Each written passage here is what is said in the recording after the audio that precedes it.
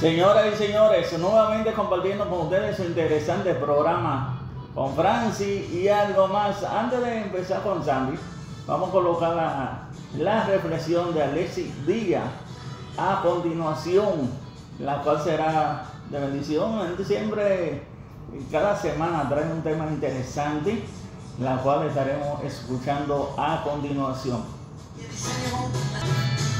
Seguimos, seguimos, seguimos con Francis y algo más. Sandy Franco, dime cómo te sientes nuevamente en este día. Estamos bien, estamos bien, un nuevo día. Estamos bien, gracias al Señor que nos permite. seguramente mucha gente levantándose bien temprano en el día de hoy y mucha gente en tapones en la tarde a las 5 y 30. Tú sabes, se arma uno tampones uno, tampones tremendo. Bueno, hablando de estos tapones, Baní no está fácil. Baní no está fácil.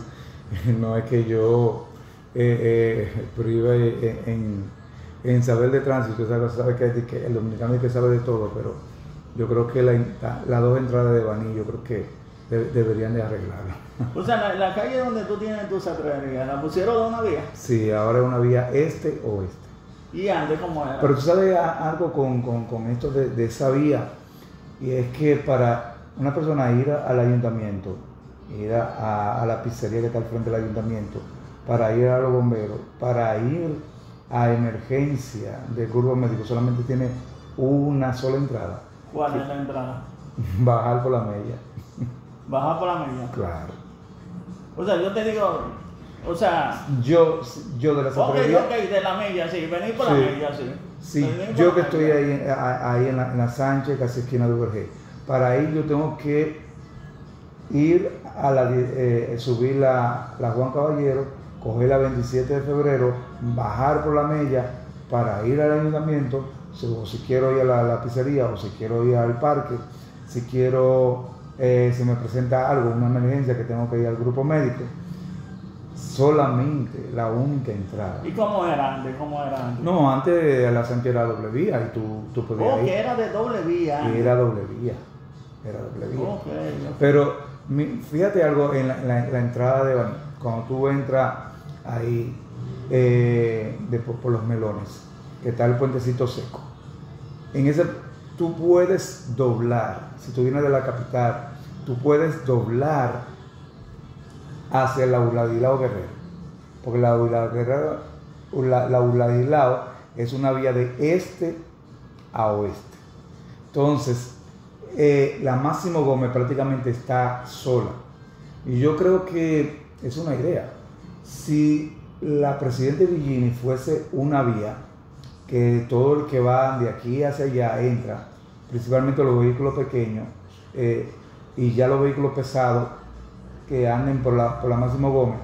Entonces, por la Uladilao, la 16 de agosto, la Beler, los vehículos pesados, entonces los vehículos que vienen del sur, creo que el, tránsito sería, sería mejor.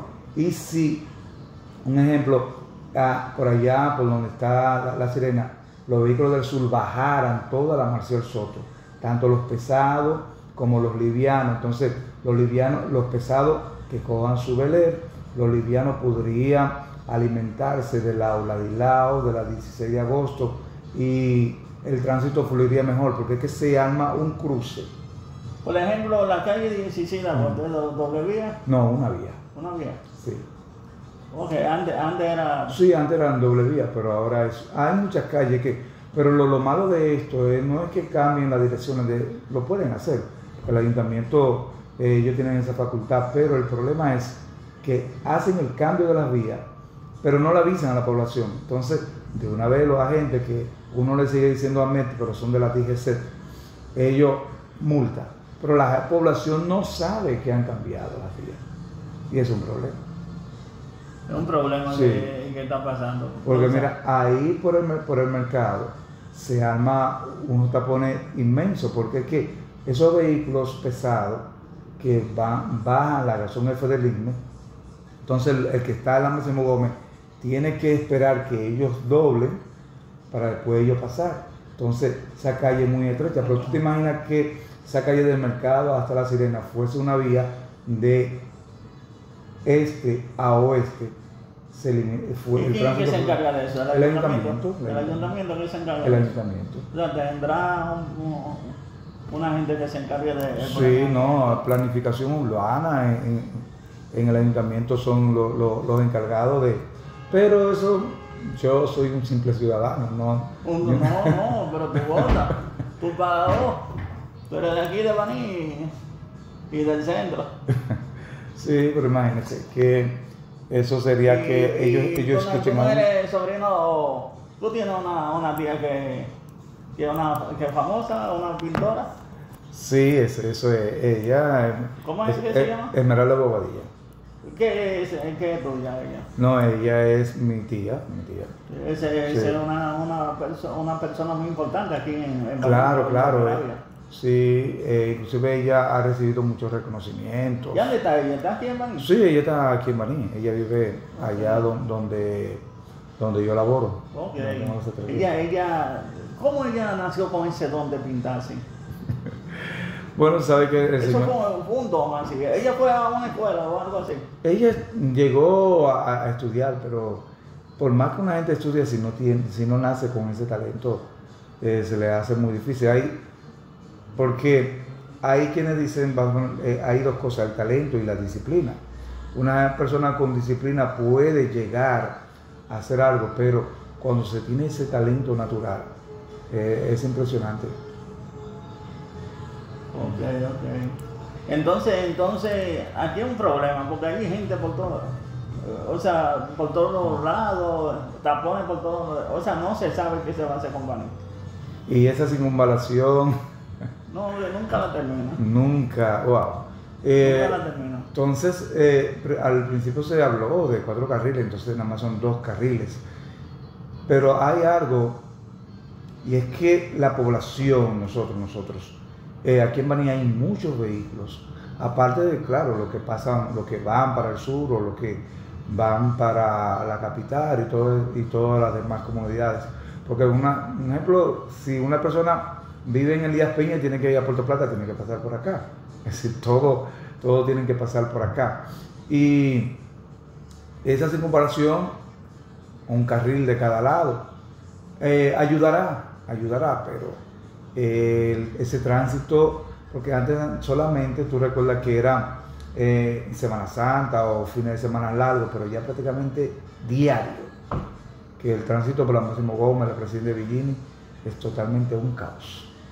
Sandy, Sandy, mañana me estará hablando, me estará hablando desde el deporte. Mañana me estará hablando. Ya tú sabes quién es que va a ganar la, la Serie Mundial en, en, pelota. Ya tú sabes, tú te imaginas más o menos. ¿Y quién lo puede saber, Francis? Tú no lo sabes. Uno tiene un deseo y... No un deseo, sino de tu conocimiento. Bueno, hay equipos que deberían, un ejemplo, el año pasado estaba Baltimore, que todo el mundo decía, bueno, los Orioles, Baltimore, pa, y no pasaron de la primera ronda. Antes de, de, finalizar contigo un poquito, antes decía como que un cristiano no no se podía mezclar mucho en deporte y cosas así. Eso era parte de, del o sea, había mucho poco sobre eso. De este, que no, no jugaban domino, que no podían jugar cartas. Eh, había muchos mitos, pero no creo. Ahora, el problema es si eso te quita el tiempo de Dios, ahí sí. y, también, el problema es que si, si, si apuesta dinero. ¿eh? Claro, claro. O sea, porque hay gente que coge los deportes para como igual que una lotería para votar y cosas así. Es que se gana mucho dinero en eso. Ok, ok. Se gana mucho dinero. Bueno, tú, bueno, eh, en estos días murió Pete Rose y el líder de hit de todos los tiempos en la Grande Liga y no pudo entrar al Salón de la Fama porque él siendo, se investigó siendo jugador, aún siendo dirigente, que él apostaba y el mismo Otani eh, tuvo una, investigación porque el tractor de él eh, apostaba dinero y él, se determinó que Otani, eh, simplemente él le tomaba el dinero y Otani quedó limpio, pero si en la investigación hubiese quedado que él hubiese apostado, no hubiésemos disfrutado de la temporada. O sea, mañana me, me comenta sobre ese tema. Me comenta sobre el tema. Adelante, control, y así se pone punto final a todo nuestro contenido en el día de hoy.